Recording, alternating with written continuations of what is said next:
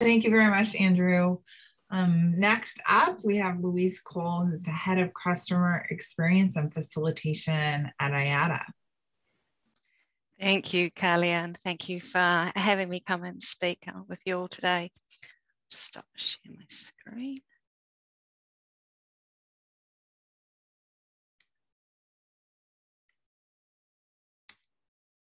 Okay, yes, that's sharing, yes, yes. Uh, okay, first off, um, for those who, who don't know uh, much about uh, IATA, International Air Transport Association, um, we're there really to represent, to lead and to serve the airline industry. We have um, a 290 uh, member airlines and they represent um, 83%, uh, I believe, of the, the world's air traffic. Uh, alongside that, we also have um, 100,000 travel agent uh, uh, members and um, around 400 strategic partners, a few of whom uh, have already spoken earlier uh, in, in, previous presentations. We work together to make sure that we um, implement standards, industry standards, IATA standards across the aviation system that bring um, uh, interoperability and, and simplify processes. And it's been a, an interesting and challenging 20 months uh, for the industry, as of course we've we've heard from from the speakers before me today, and we've all experienced ourselves. And the the situation continues to to be in flux um, after a relatively stable period. Uh, already my slides are, are out of date uh, despite only being submitted a, a, a, few days ago with the changes with the new variants that we have. And we, we can't afford to continue to have knee-jerk responses to, to variants and, and even the World Health Organization and ICAO have cautioned and, and recommended that countries don't um, move to, to quickly put in place restrictions before understanding the, the impacts of the variants. And we're focused at the moment in IATA on the Restart to Recovery program.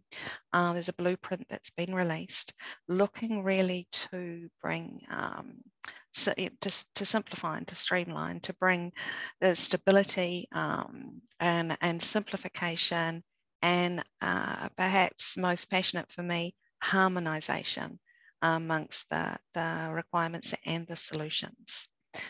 And while uh, we've, we've heard from, from different speakers before of the complexities in that, we know at the heart of this, people want to travel. Uh, not not just for, for, for, for, trade, for business, for vacations.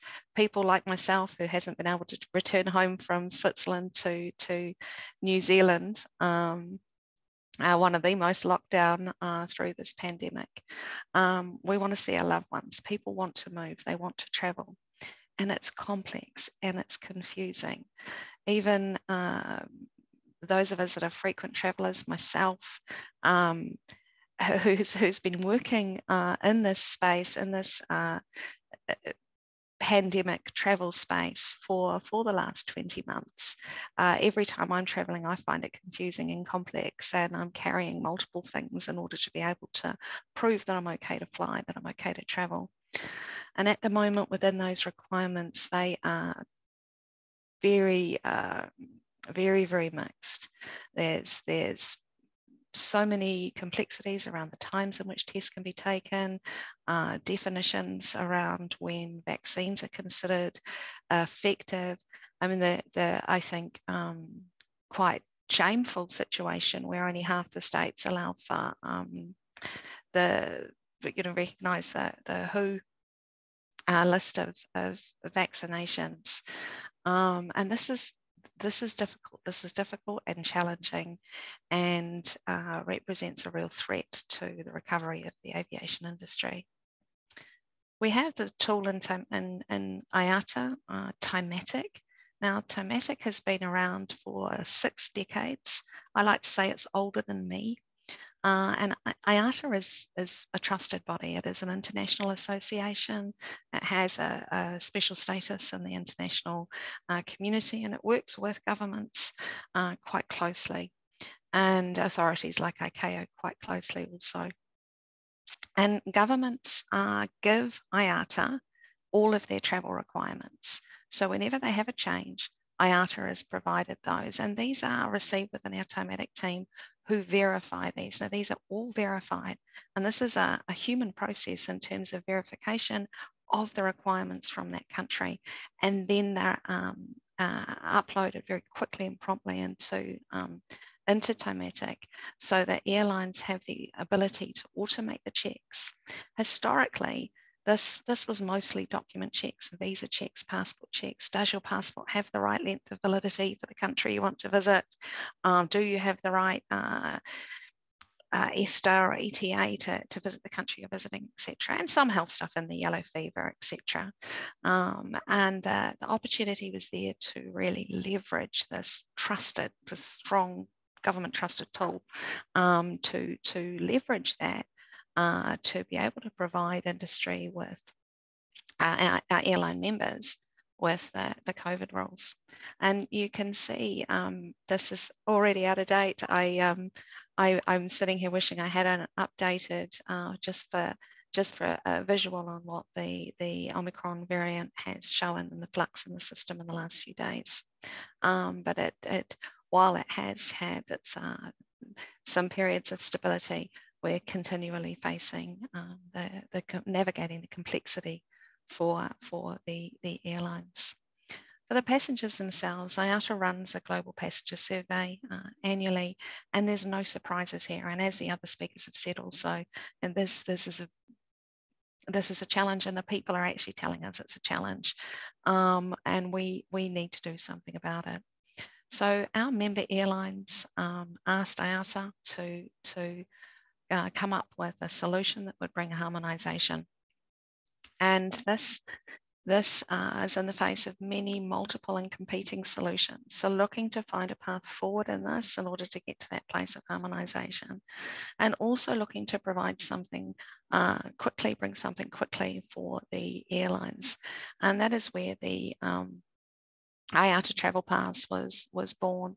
Now, people often refer to it as an app, but it's, it's not simply an app. Certainly, there's an app, uh, the, the center, the one that the passenger themselves sees. Um, but it's an, it's an ecosystem, and it's an ecosystem that's built on the, uh, on the principles of decentralized identity and on the W3C um, standards for decentralized identity and for verifiable credentials. It's a digital wallet um, it is a, a, travel wallet solution. And it's something that we'd been working towards for a long time in industry in terms of managing identity, and particular with the work that was being done towards the standards and recommended practices for One ID, looking to bring uh, seamless biometric travel uh, for, for an, an easier um, an easier journey through the airport. And it made sense to leverage the work that had been done within the One ID and within the digital wallet um, uh, decentralized identity space with airlines to leverage off that because we know that uh, in crossing an international border, your travel document is the key is the key document. Your identity document uh, and that, that machine readable travel document passport that you have is, is the, the key uh, the key anchoring document for your identity. And we knew also that to have governments um, get the confidence to to remove um, or, or, or begin to roadmap and plan out to, to sunset some of these requirements, that they had to have the trust and confidence. So we started, we've started very much focusing on the identity and the digital identity, authenticating that passport where, where a chip is present, uh, undertaking liveness checking for the biometric, undertaking a strong uh, match for the, the biometric of the person with the biometric uh, stored in their passport and, and creating a digital identity that's consistent with the ICAO standard for the digital passport known as the digital travel credential.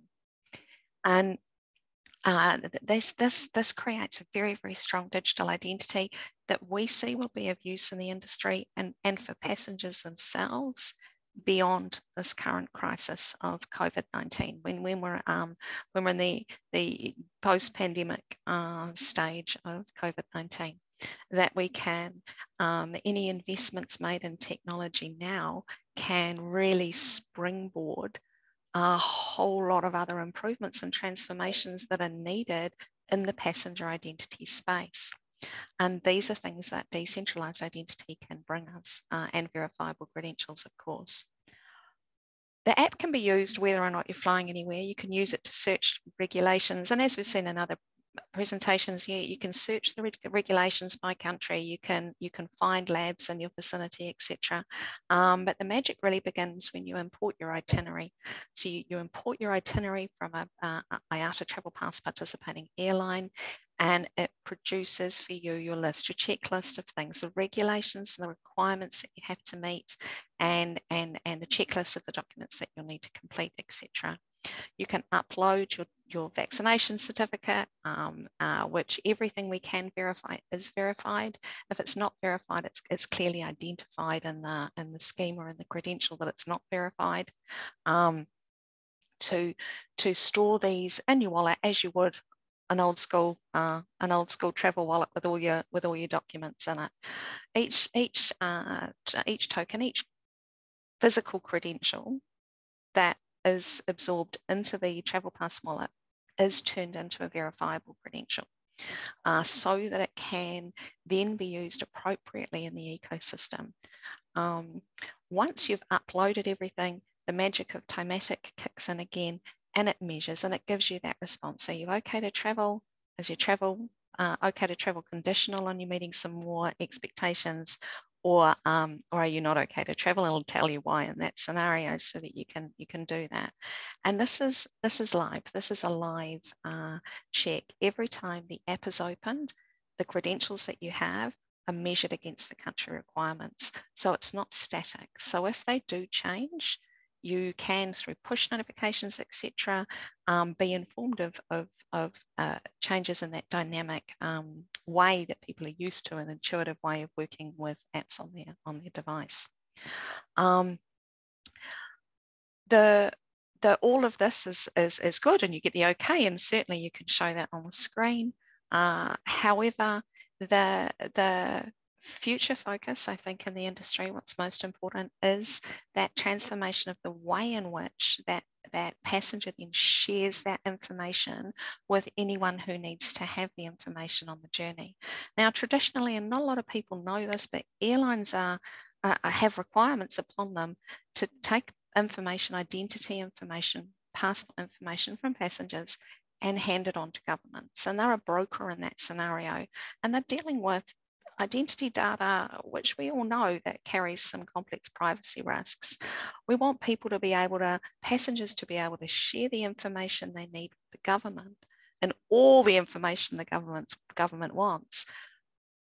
But really for airlines, for industry, for airports, we want them to be able to have the power to, to use tools like zero knowledge proofs and selective disclosure uh, to, to share only what they need to share with the party that they're transacting with. Um, so, so that, that data is minimized, privacy is protected, and ultimately governments are making decision about who enters their borders, not airline check-in agents at a counter looking at a lot of documents. That we want to be able to have this so that the passenger can share directly with the government the data the government needs and have the return message that can be given to the to the airlines to say this person's okay, this person meets the requirements, and that is the the uh, the ecosystem for IATA Travel Pass. It's growing. Um, the the app went live late April, the the version one. Um, it was a, a, a, very busy and hectic time, as as anyone who works in this space would know.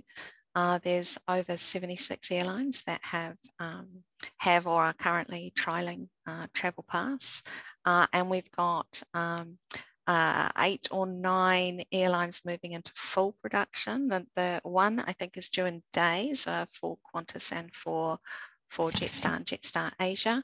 Uh, Emirates are close behind in that. And, and, and over the coming months, we'll see it moving from limited trials to across full production, full flights for um, for our airline members, our, our passengers. And, and, and we can see this tool being in use for a long time. It won't stay as a standalone customer facing app for the long term. Uh, it's the short term, it's a necessity. Uh, we do want to see this as an SDK and an airline's own apps. People don't want more apps. They want to do their business in the apps that they do their business in. So we do want to see this in the airline's own apps. And um, I think I can see the lovely face of Kaliya. So um, I will quickly jump through my last my last slides. A lot of benefits in this. Um, uh, some I feel very passionate about is the the the privacy. It's protecting us not only in the face of the pandemic and in the contactless benefits that it brings, but it's protecting the passengers' privacy as well.